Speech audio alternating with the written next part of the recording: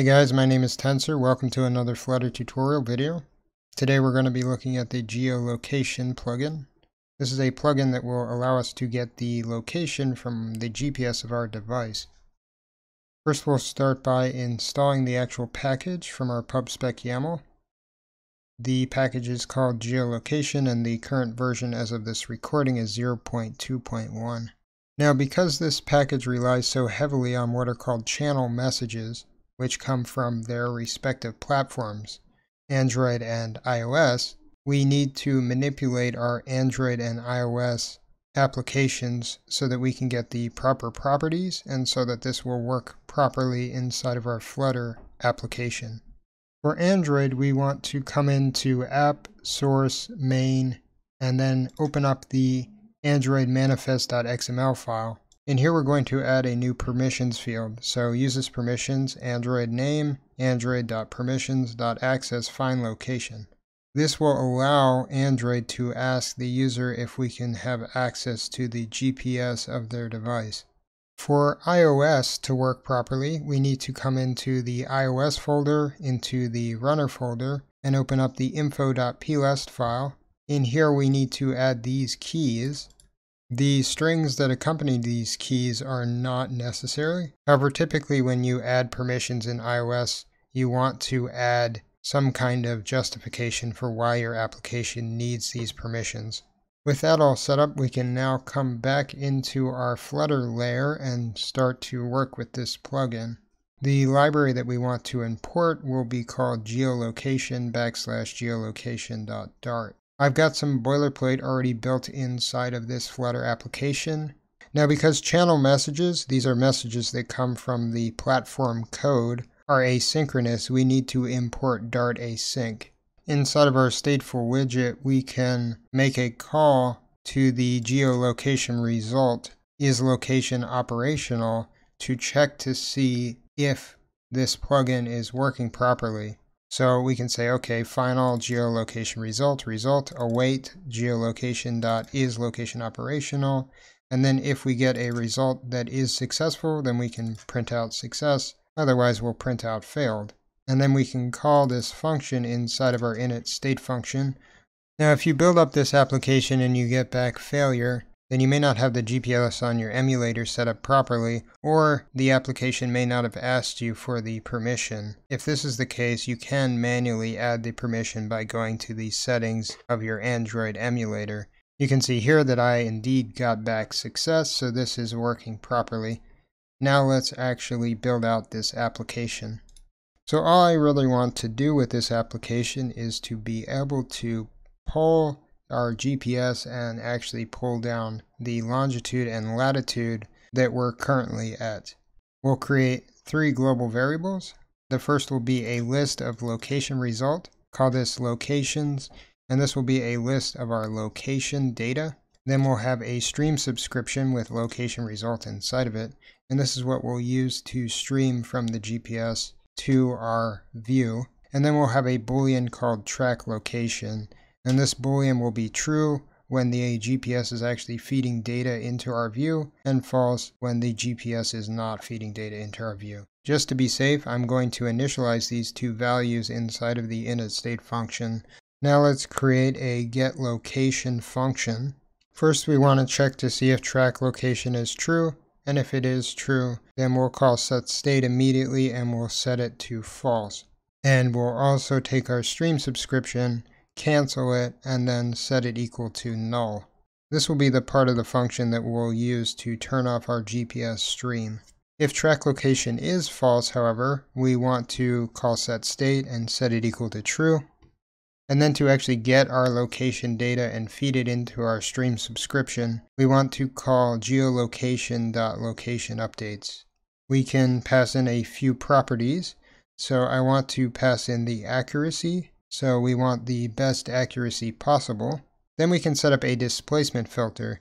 This property allows us to set up a variance between when the location updates will come through. So if the location doesn't change, then it won't try to pull for a new location if you have the displacement filter at something that's greater than zero. So because I have it as 0.0, This means that it will constantly feed us data regardless of whether or not we've actually moved our GPS coordinates.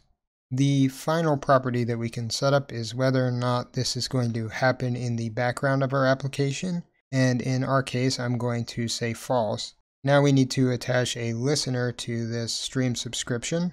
So after we call the location updates, we just call listen and we pass in a callback function. This callback function will take the result that we get and then of course pass it back to us. So we have to decide how we want to handle that.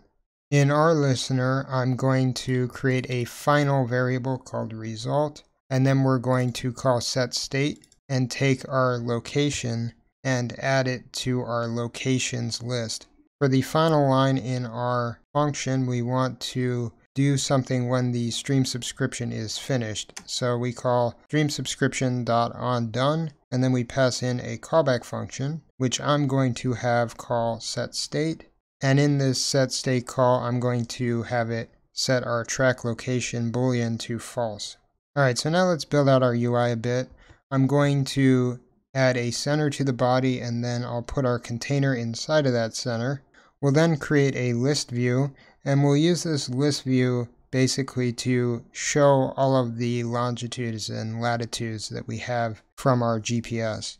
And we can use the map function to easily deal with this. So what we'll do is we'll take our locations list, we'll call map on it, and then for each location, we'll create a new list tile. And then inside of each of our list tiles, we can create a text field and we can say you are here. And then on our lock variable, we can call lock.location and then call dot longitude to get the longitude and dot latitude to get the latitude. The other variable that we have access to is our altitude, which we can then add to the subtitle of our list tile. So now we've got a way to actually see our location. We need a way to basically execute the function which will then execute the logic, and fill up our list. We can do this by adding actions to our app bar. So inside of the actions, we have a list of widgets. We'll create a flat button, and the child of this flat button will say get location. And then we can have the onPressed property fire off our get locations function to get the locations and populate our list. Alright, so now let's take a look at our application. Here it is, so we've got the title and then we've got our flat button. When we click our flat button, you can see we now have these GPS coordinates being fed to us. It's saying that we're currently at negative 117.11 and 32, and then it's giving us the altitude. Now I can come in here and I can change the GPS. So let's open up the map and currently I have it set to San Diego, but I can set it literally to anywhere in the world. So let's put it somewhere in China and see if it updates. And you can see here it does in fact update to our new GPS coordinates. And even if we go and we set it into the sea, it does in fact update. If we keep moving it around, we should get various different GPS coordinates every single time it pings to the platform and asks for the current location. If we click the get location button again, it will then disable our stream, which will stop the list view from being populated. So you can see here that the list view is not growing anymore.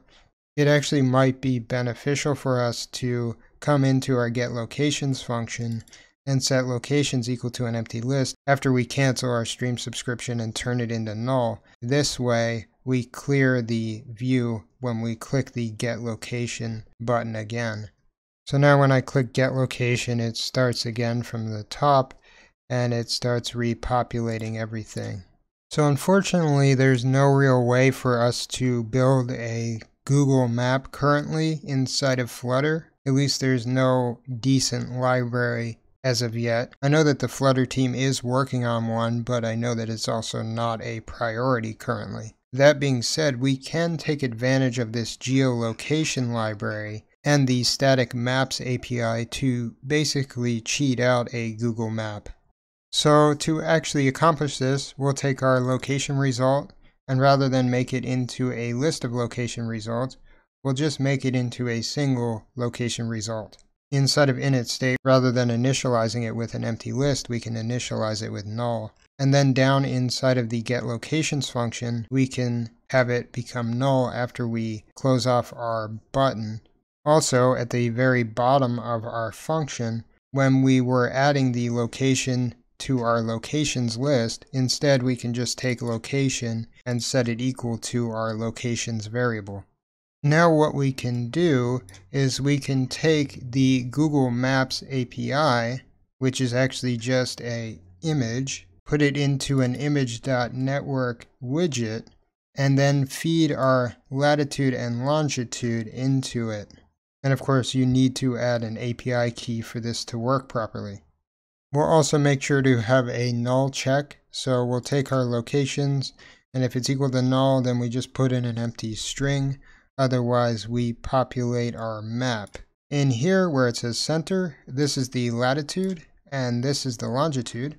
So we can come in here and use string interpolation to take our locations variable, get the latitude and get the longitude, and then just put it directly into this URL. I've also put my API key in there, but of course I'm not going to show it to you guys, sorry. If you do want an API key, just sign up for the Google Maps API and then enable it in the Google API's console. Now let's call get location. You can see here we have our map. And if we open up our GPS map, you can see that the map is actually the same. So now we can go and we can click in different areas and over time our map will change. So it won't change very fluidly, but it will still update. So if I choose say LA, now we're looking at LA and I can zoom into the city and I can do various things like that.